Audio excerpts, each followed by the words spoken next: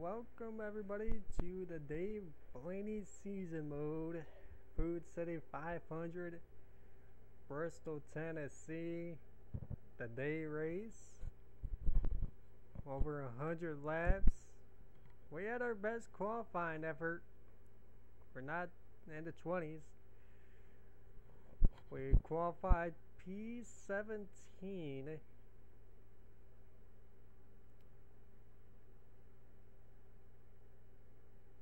And we ran a 14-108. Like, that's not bad for Dave Blaney. And this 22. And I can't recall if car tomorrow was like short tracks. I, I'm guessing so.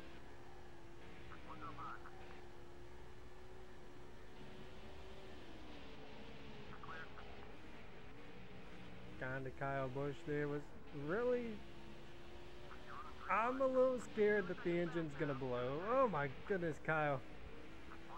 Oh wow. I think Kurt Busch already blew his engine. Slow on the track, Kurt Busch already had a problem at the drop of the green flag. That's a heavy knockout. Busch is limping his car around.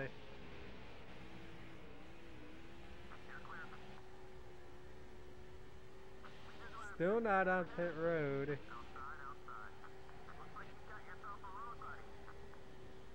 But yeah, I, am like so scared that we're gonna blow the engine in this damn car because we're constantly in the red and I did my best to fix that.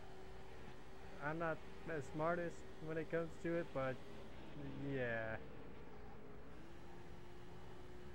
Car seems tight.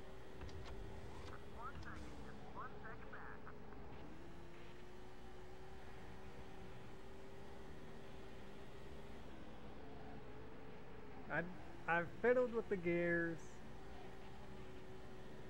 I found a gear ratio I like. I don't like that it's doing the red.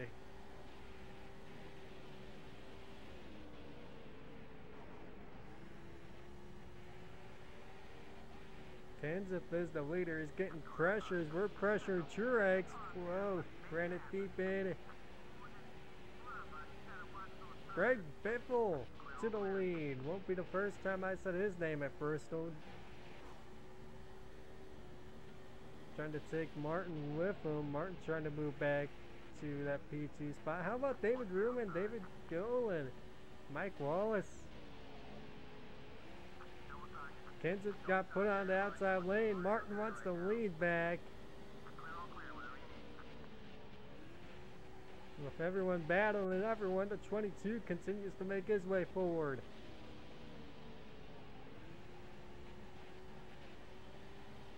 I think that's just crazy. Like I, I said that I was scared for the engine, and like right away, the two just dropped to the apron, and he's already out of the race. Like, not even more than two laps in. We're going to get into the top five. What a move by the 22. It's got some fast cars up here. It's not ran in the 13s from practice to qualifying. So if we do that at all in the race, that's going to be real shocking. I think we got a better long run car. I won't lie. So if we can keep it clean, I think I'm set the car to be good on the longer running. Especially faster on the longer running. So we're seeing is Gilliland pressures Martin right now.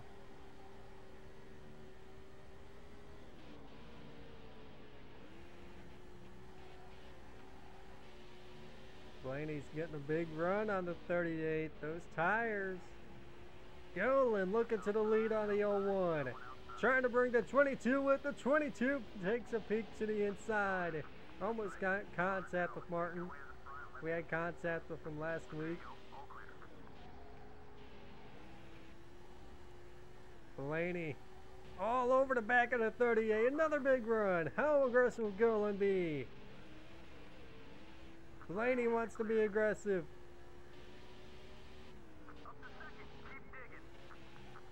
Blaney to the lead. Dave Blaney at the 22. Out front. Early at Bristol.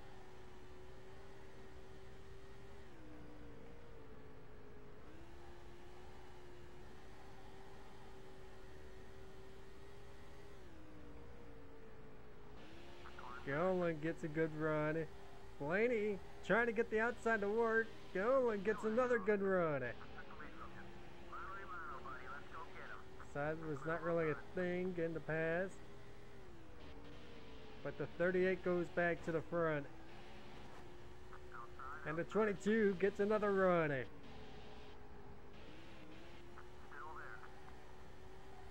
Twenty-two back to the point.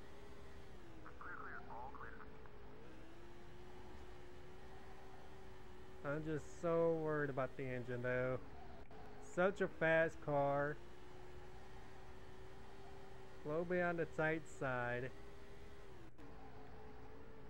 Maybe we can fix that with a pit stop. But with how it's handling, if it handles longer, better on a longer run when the tires start to go away, I don't think I want to do anything.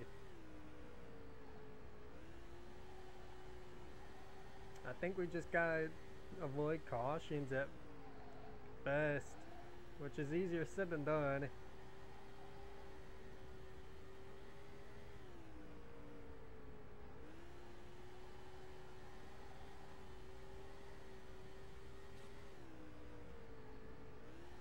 Well, if you're a Kurt Busch fan, I'm sorry. Like, that was really unexpected. I'm not sure how I'm gonna title the video now.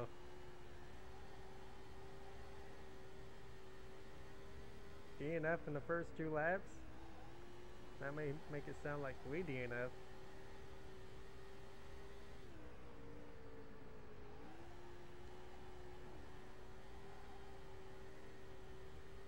Shocking DNF at the green.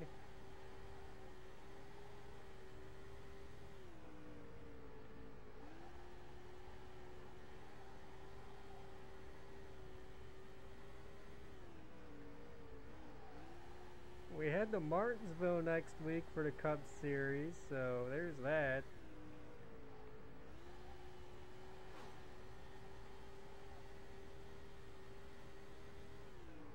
Yeah, I, I wasn't expecting to load this up and be in the car tomorrow. It kind of surprised me when I went to practice because I thought we were going to be in the old Cup car.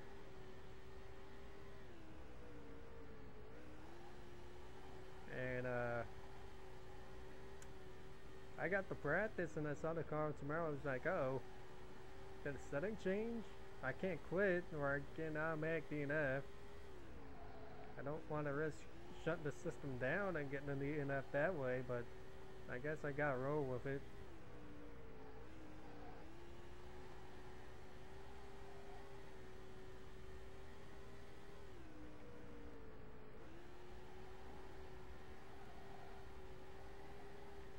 Not really caught that traffic yet. David Reutimann back to P3, putting the pressure on David Gilliland.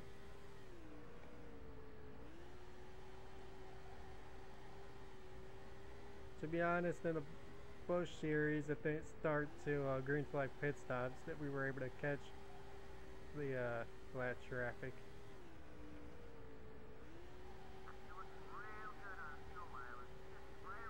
Not sure if this is going to be a one stop or a two stop race. It could be a two stop race. Be the first, I believe, on the year. I don't think we've been to a uh, road course in the Cup. Junior is struggling to begin the year. Wow. He is just struggling in that A car.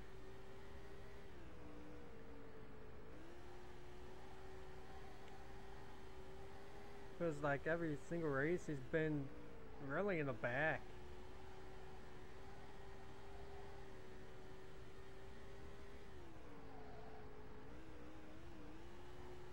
I think if we get the lap 60 plus, it's a one stop race, maybe. I'm not good at math. 38 is not going away. They've been able to shrink the gap. 22 could be holding up some cars.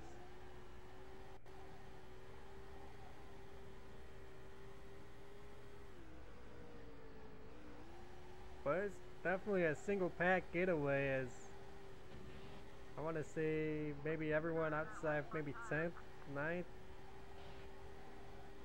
right now is in line. And Gilliland is putting a lot of pressure on the 22 and the double zero is putting a lot of pressure on him. Jeff Gordon's even in the back at Bristol. Wow.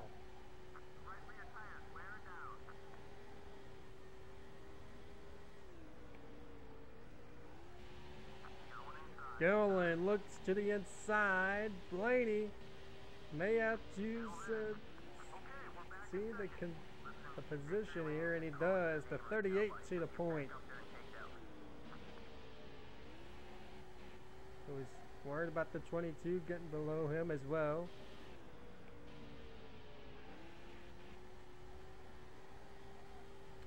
I think it was smart to try to move over and let that run die off. Before they just try to wreck us. That's what they kind of do at Martinsville, sadly. 22's been able to get better runs on the 38 again. 38 wanted the lead, but was not able to do anything with it. And the 22 goes back to the point. Smacks the wall on exit. So Dave Blaney, real good car here at Bristol.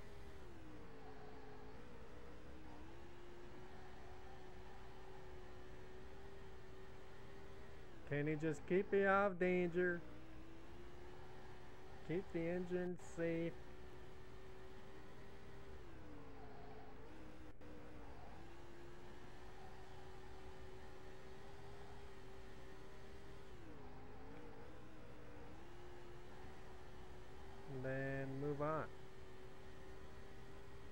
As Blaney's been able to get a gap again.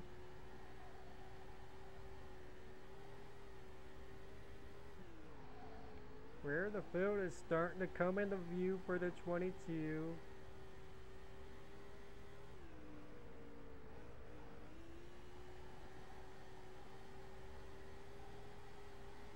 Twenty-two starting to get loose off the corner.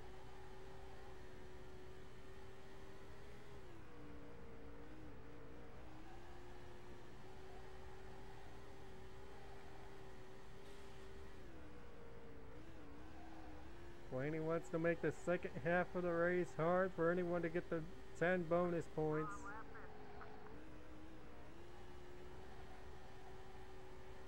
He already has a DNF on the year. At Las Vegas.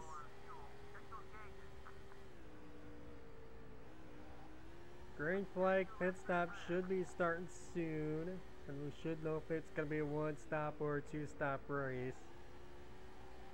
No cautions yet to fly, but sure uh, there's going to be some competition or some dumb moves getting made being aggressive entering pit road by the computer. Maybe maybe by Blaney. He doesn't really want to lose this track position.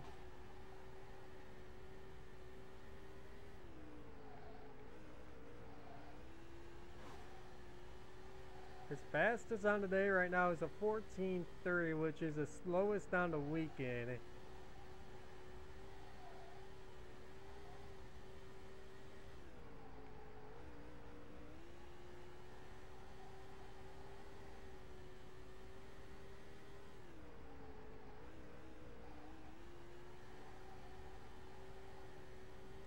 And I doubt that's even gonna be like top 10 in times.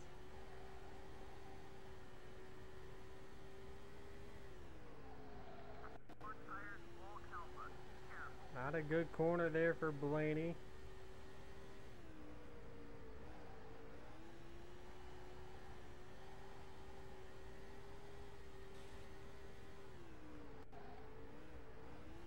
Blaney's starting to slip and slide again, entering the corner, getting into the wall, exiting the corner.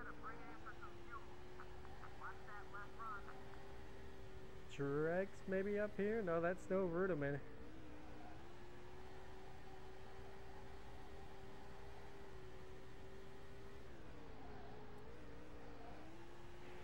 Reutimann gets to the inside of Gilliland. He gets to the inside of Blaney. Here comes the double zero of David Reutimann. Gilliland was able to get to the bottom before the 22 could. 22 could not force his way in front of 38. Blaney could be dropping a third before green flag pit stops. Stuck on the outside lane, here comes Greg Biffle. From first to fourth, contact with the 16. Not what Blaney wanted. He was wanting to cross the 16 over. Blaney up the third.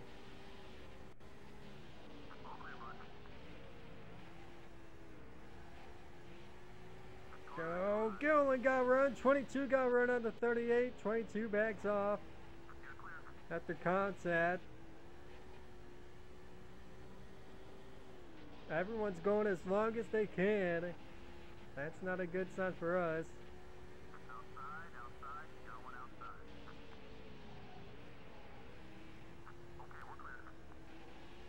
Believe it's just gonna be like earned strides, front stretch, pit road.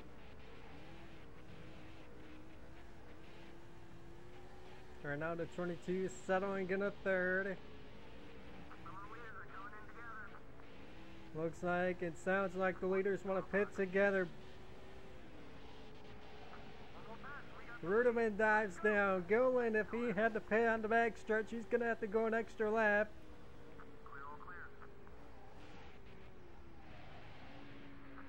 Truex with an aggressive pit road injury. That may help him off a pit exit.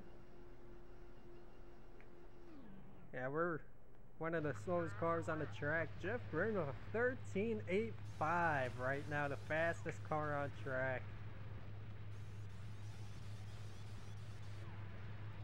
It's going to be a race off of pit road.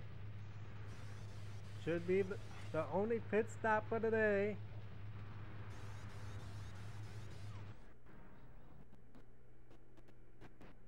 And it does not look like we had a good pit stop at all.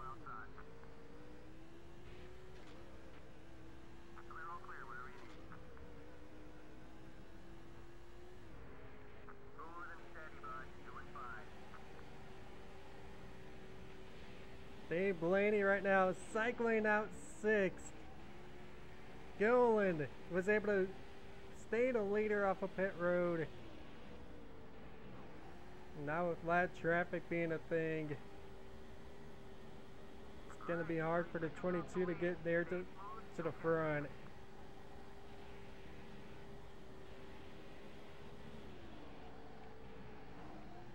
Blaney being overzealous a little bit. Got to take care of the tires. Still a long way to go. Plenty of time for that caution.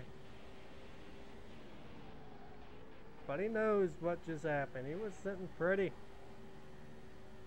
He, he liked that track position. Reutimann was able to make his way back to the point. Oh, Kenseth! What was that? Kenseth just about wrecked the 22. 22 gives him a bump back at the track, not giving Kenseth an option of uh, pulling that type of move. That was real aggressive racing for P5. Hamlin does not race the 22 as hard. Truex right now would more likely be P3 as he's looking for the inside run at Ken Schrader. We know Wood is not our friendliest of allies. Schrader dives it hard trying to get back around. Gonna help try to use Truex a little bit. Him to work. How about Truex though? Showing it off. 22 makes his way back up to P3. Right where he was before pit road. Gonna have to be aggressive with the 21. That's not gonna make Wood any more happier. Cannot just afford to sit back. Wood cuts him a little bit of slack, knowing Wood is a let down. Gilliland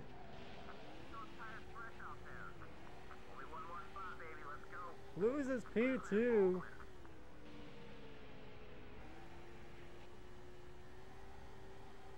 Right now, David Reutimann out front here at Bristol.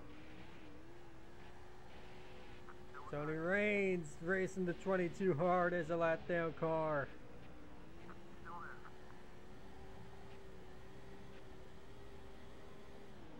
And the best lap for Blaney came sometime during this run. It's a 14.135 or 6. Not sure what that last number is. But does the 22 have anything for that double zero? Right now, Reutimann struggling with lat traffic.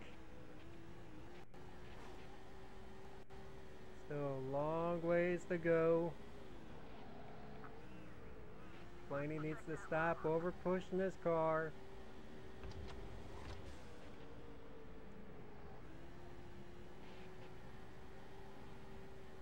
Has to make that young driver ahead of him make that mistake.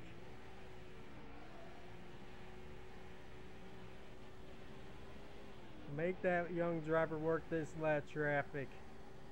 Try to stay with him as best as you can if you don't have the better car.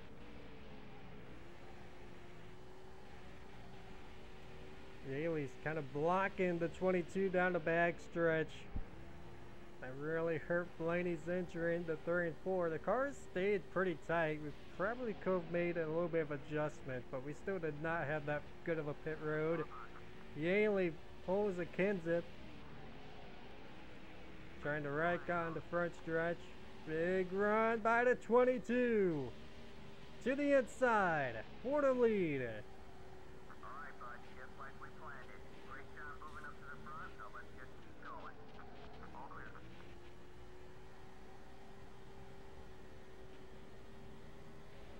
Blaney back out front. And Reutimann also had to deal with Yeley.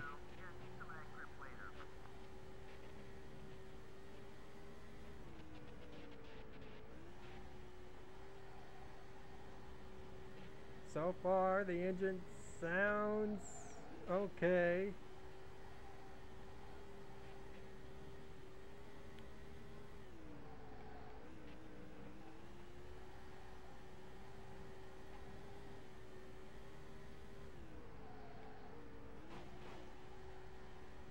He's got to be able to save these tires for the longer run.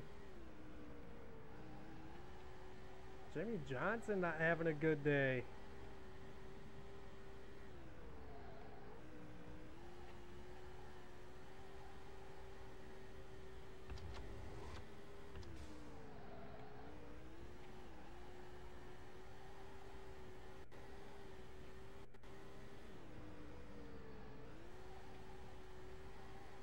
Kurt Busch so far the only car still out of the race.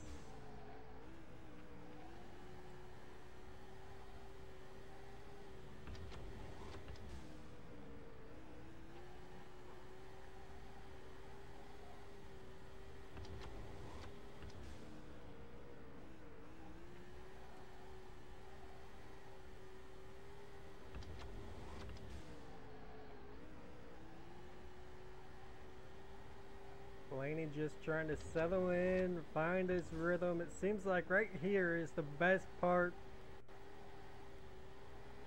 of the day. The middle run for the 22. So he may not be that good on the longer run.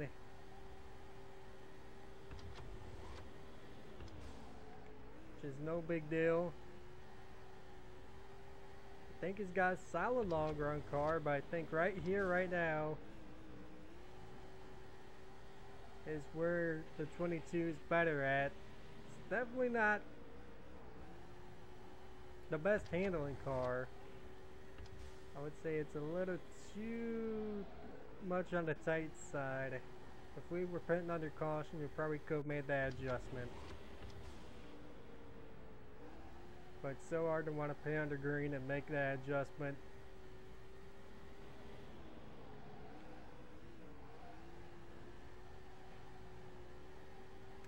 I wouldn't say it's too tight though. And I would kind of be a little afraid to make that adjustment. Blaney will get the 10 bonus points for leading the most laps. But that traffic is not going to make it easy.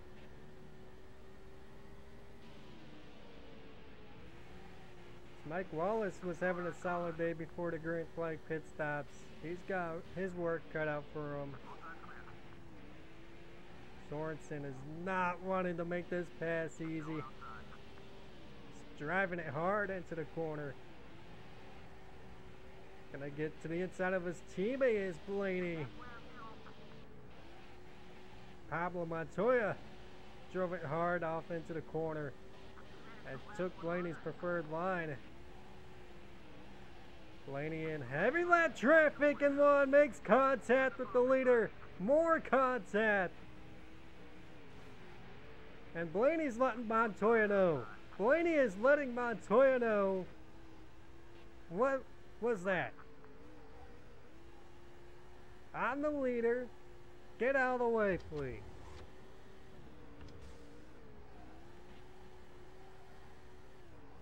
And unfortunately, Gordon was caught up in Montoya's mistake as well.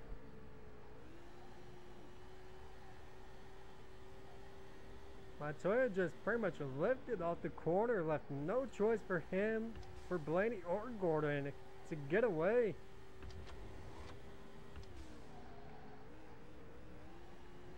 That's really the first heavy contact as Blaney goes right into the wall.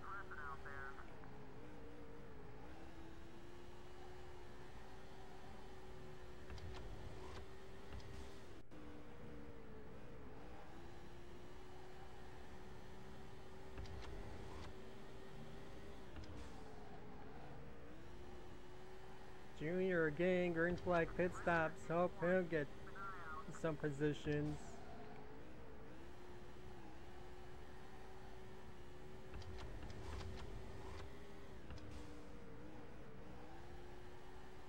And somebody who's not having a good day is Jeff Gordon. He has to be frustrated with what just transpired with the 42 and the 22.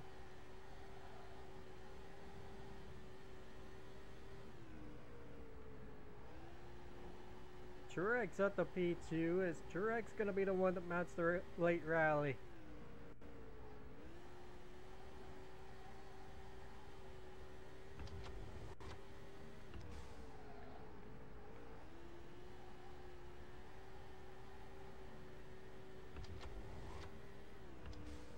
Of contact was the last thing Dave Blaney wanted to happen.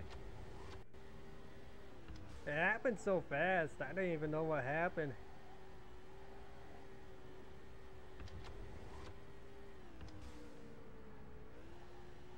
Blaney's lucky he came out with just that much damage. That really could have damaged his water cooler and ended his day.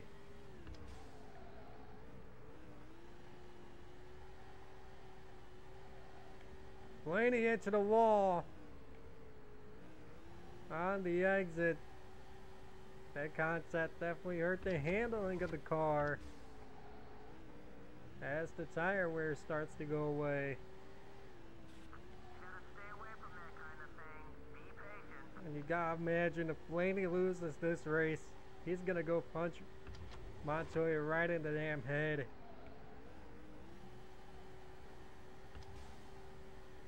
No excuse for that type of racing by the 42. But no one should be shocked by what Juan did. He was never a top racer in NASCAR. And yet idiots still think he's going to make a comeback one day.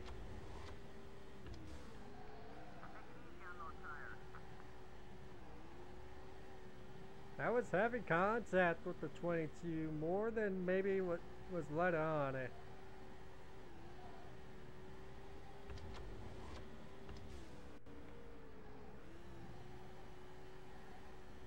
Not many cars are going to go a lap down in this race unless the 22 can catch them. We had 27 lead lap cars in the Busch series. Right now, 34 are on the lead lap.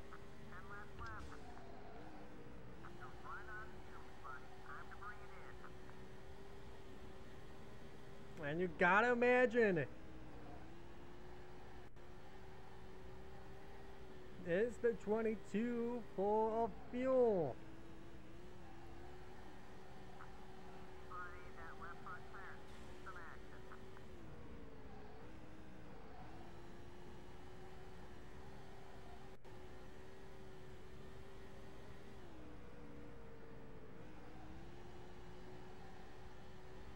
Last thing you want to lose a race to is running out of gas or because you're 13 did not get a full fuel.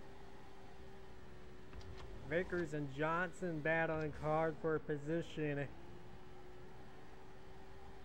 That's a lot of contact. That's going to bring the 22 up closer to them. They continue to battle. They they lose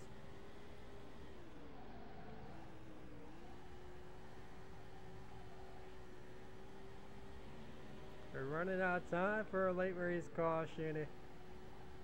Johnson just trying to hang on to that position and to stay ahead of Vickers. They're both trying to stay ahead of the leader.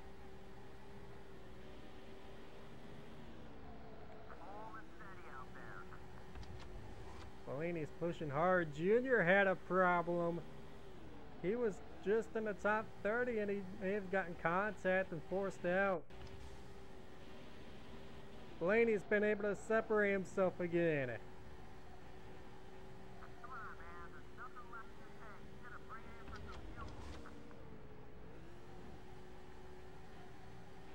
Blaney's gonna get a big run here. How aggressive will Vickers be? Vickers and Johnson both drove me off in three and four. Two to go. Will Blaney let them have at it? Or will he back off? Blaney may take one last gasp here at Vickers and at Johnson. Almost contact. There is contact. Vickers does not want to lose that his lead lap position on the final lap. Blaney wants to add one more car. And he's going to. Maybe he'll get two. Can he get Jimmie? No, he won't. But Blaney will win Bristol as well. Truex, Hamlin, Reutimann, your top four. David Reutimann, what a run for him. He can't be disappointed.